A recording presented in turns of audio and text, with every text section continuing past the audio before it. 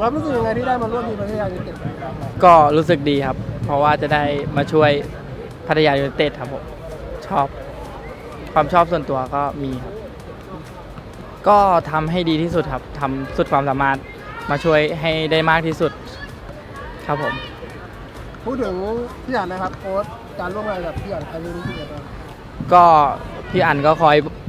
เข้ามาใหม่ครับ ก็คอย พยายามบอกแท็กติก แล้วก็วิธีการเล่นของทีม ให้ให้เข้ากับเพื่อนให้เร็วที่สุดครับเพื่อจะได้เลขสองจะได้กลับมามาช่วยทีมให้ได้เร็วที่สุดครับก็ขอฝากเนื้อฝากตัวแฟนบอลพัทยาครับให้ร่วมเชียร์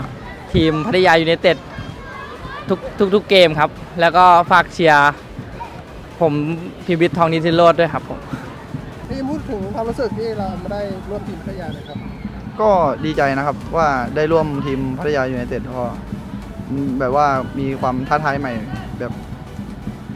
เปลี่ยนเหมือนว่าเปลี่ยนบ้านหลังหลังใหม่อีกทีหนึง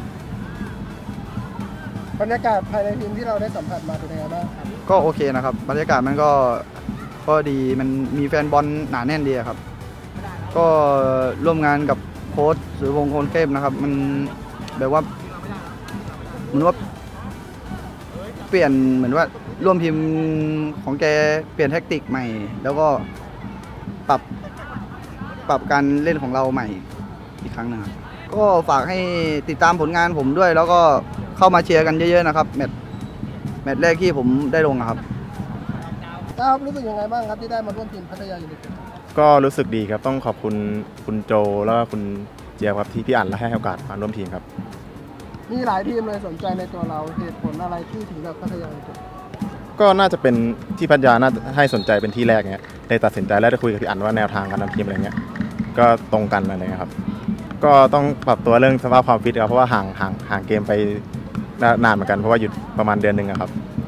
ได้ร่วมงานกับพี่อันรู้สึกยังไงบ้างครับ ก็รู้รู้สึกดีครับพี่อันเป็นกันเองครับเอ่อนอกสนามก็เป็นพี่น้องครับในสนามก็มืออาชีพครับ ก็ฝากแฟนบอลพัทยาให้ตามเชียร์ทีมแบบนี้ให้กำลังใจไปเรื่อยๆครับแล้วก็ฝากฝากติดตามผลงานผมด้วยครับ จะพยายามช่วยช่วยทีมให้เต็มที่ครับ ครับผมครับ